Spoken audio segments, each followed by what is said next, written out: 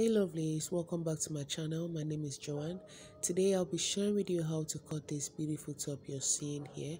If you're new to my channel, you're very welcome. Please subscribe to this channel, like and share this video. Thank you. So let's start. So this is a pattern I'll be making use of. I'll go ahead and take the measurements. So right there, I've already taken the bust measurement. That's the nipple point measurement the under bust measurement, the half length which is 16 and the top length. So for my nipple point measurement is measuring 10, my under bust is 14, the waist measurement, the half length is 16 inches and the blouse length is 19 inches. So I'm going ahead now to connect the lines together like so.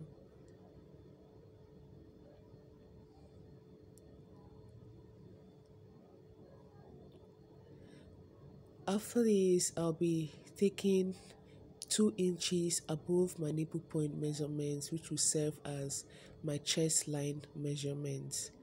So that is measuring 8 inches.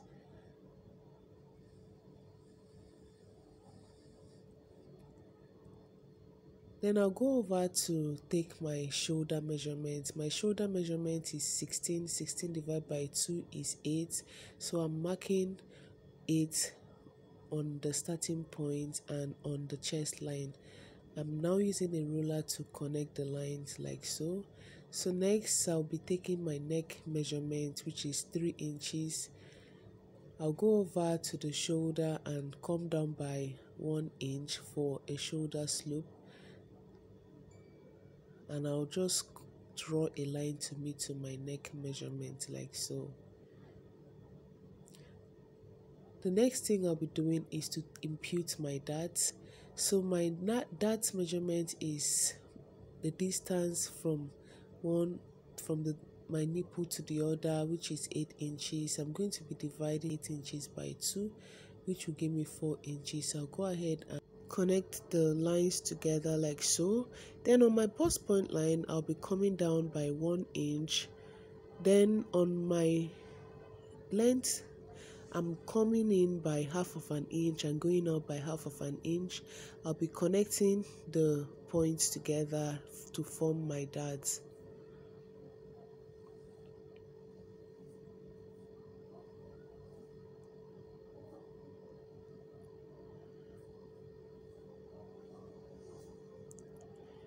So after I'm done with that, I'll take my entire armhole measurement and divide that measurement by 2, coming by half of an inch. Then go over to my bust line, my chest line and take my bust measurement which is measuring 10. Then afterwards, I'll be connecting those points together from the point around my bust area to meet to my armhole then I'll go all the way up to me to that point like so. Hope you understand what I just did there. I'll just blend that line.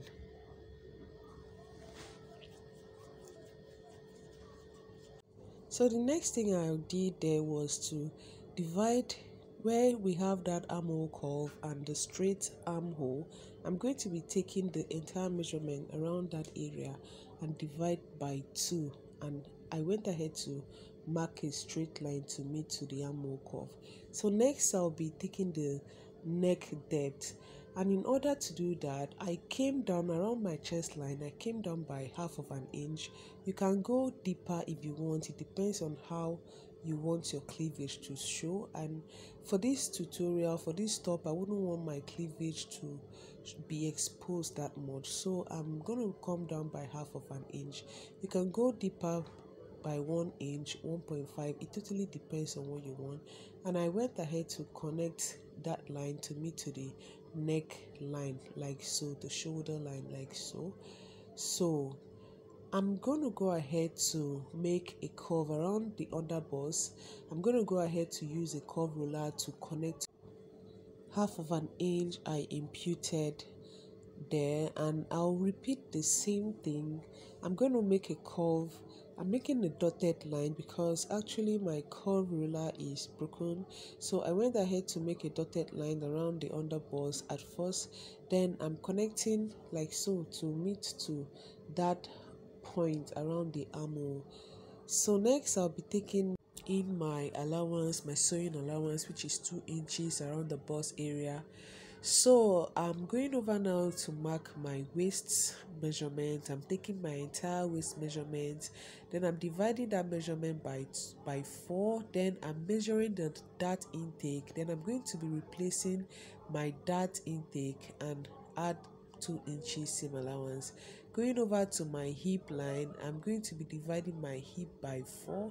Then i'm measuring that dart intake to replace it. If not your outfit won't fit. I promise you that. I assure you it won't fit. You have to replace the dart measurement.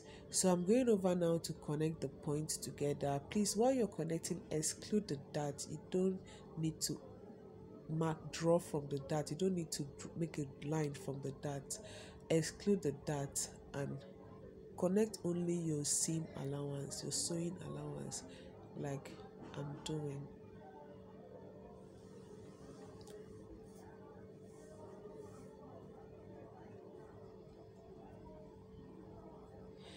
I'm making a blend around the waist area because I noticed it was too sharp right there. So next I'll be doing is to label the the bust side and I'm just making an arrow there to remind me that this is a side and here is the center so that while I'm cutting on my fabric I don't get confused. so next thing I'll be cutting this out at this point we're already done with the front pattern and please watch while I'm cutting it out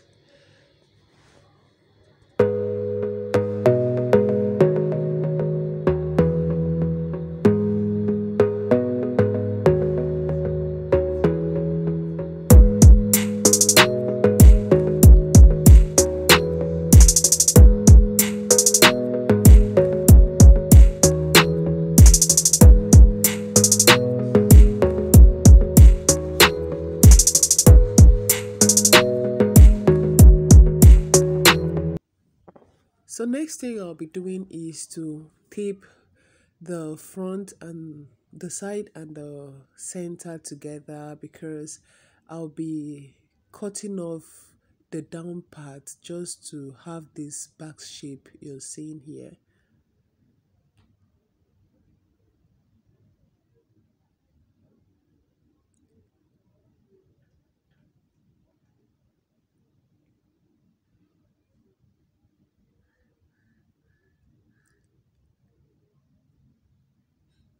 On my waistline, I'll be coming down by half of an inch. You could do one inch if you so wish, but I'll be coming down with half of an inch. From that point, I'll be marking, drawing a straight line to meet to my center front like so.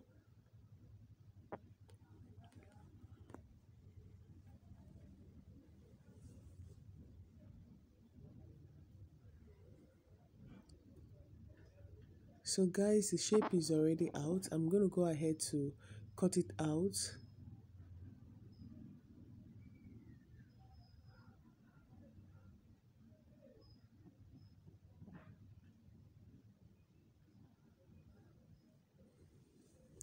So this is how the front pattern is looking. So for the broad side for the breast side i'm going to be taking the entire measurement around the shoulder and whatever I have I'll be dividing that measurement equally. So the reason I'm taking these measurements is because I want to slash and spread this. If you check what we have on the top pattern around the bust area there's a gathers.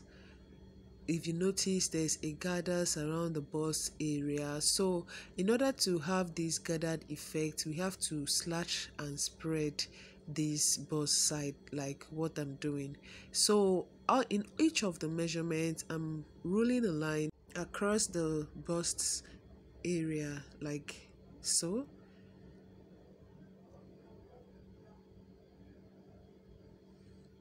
After that I'll go ahead and slash the pattern.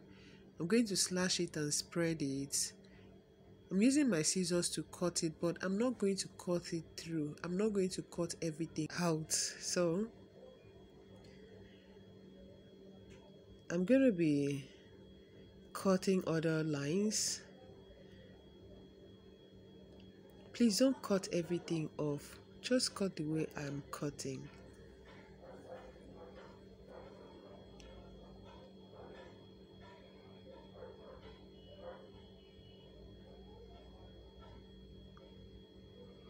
so this is how it's looking.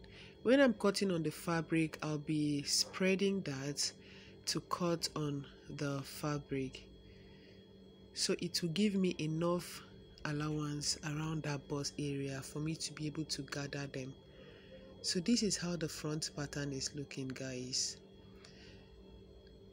So I'm going to go ahead to cut the back pattern.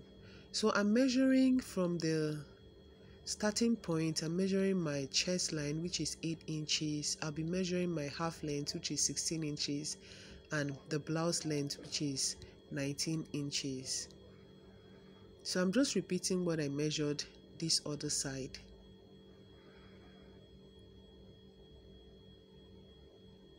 I'm connecting the lines with my straight ruler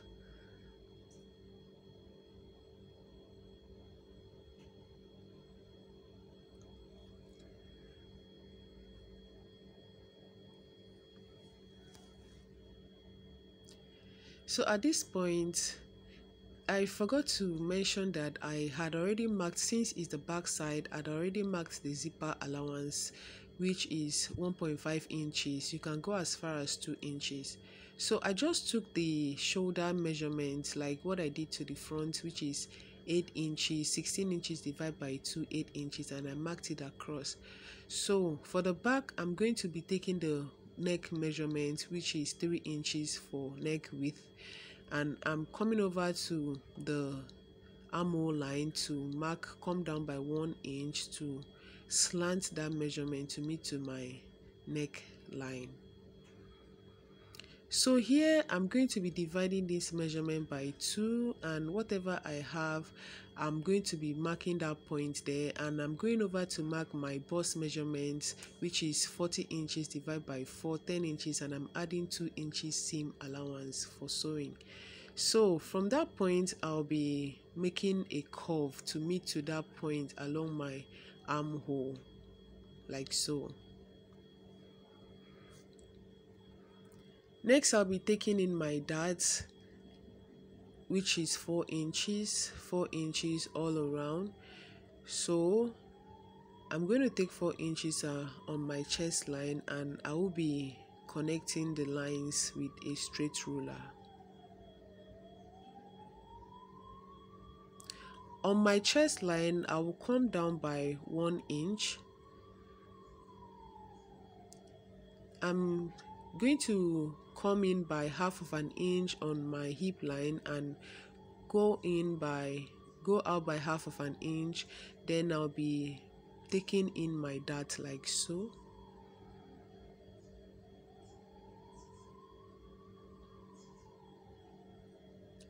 So after I'm done with that I'll take my waist measurements and whatever I have I'm going to be marking that. Take my dart measurement and replace it then add extra 2 inches sewing allowance. Then on my hip line i'll do the same thing. Take my hip measurement. Whatever i have i'll be adding that. I'll measure my dart and replace it there. Then i'll add extra 2 inches seam allowance. So i'll be connecting those points together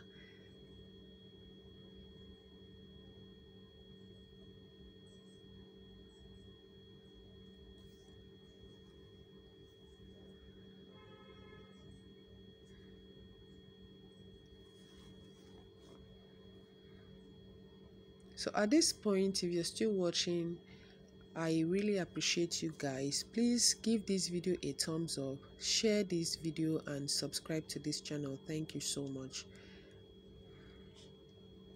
So on my neckline i'm going to be coming down by 8 inches for my neck depth like so. Just to meet to my just to meet that my chest line i'll be coming down by 8 inches and i'm just connecting it to me to my shoulder line. So guys i'm done with the back measurement. I'll go over to cut it out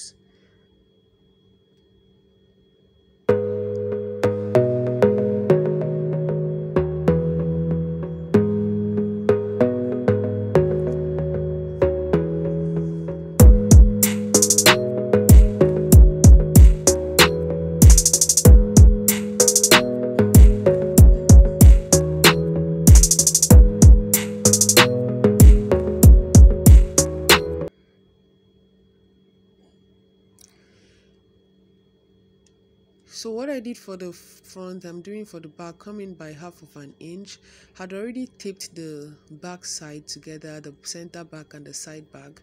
I came down by half of an inch and i'm just going to make a slant to meet to my center front my my center back.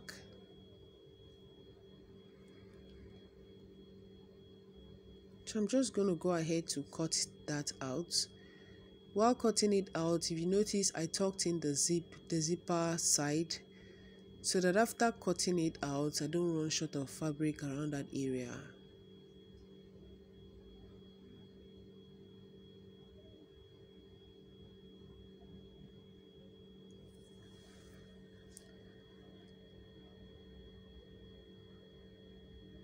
So guys, this is how it's looking. This is how the back side is looking is looking very very fine and I'll just go ahead and place it down for you guys to see. This is the front pattern.